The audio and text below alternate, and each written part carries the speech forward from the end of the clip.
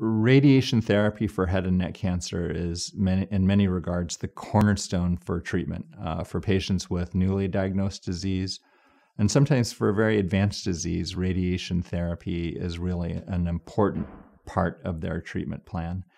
And so we are very committed to being able to provide the latest techniques and sometimes the latest machinery to deliver that, that radiation therapy.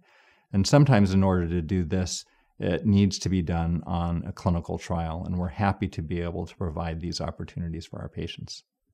An important goal of radiation therapy trials for head and neck cancer is the goal of trying to improve outcome, to improve survival. Uh, and this is the goal of a number of clinical trials we have with radiation therapy techniques. Some of our radiation therapy trials also try to preserve the best possible outcome, but limit the side effects associated with radiation.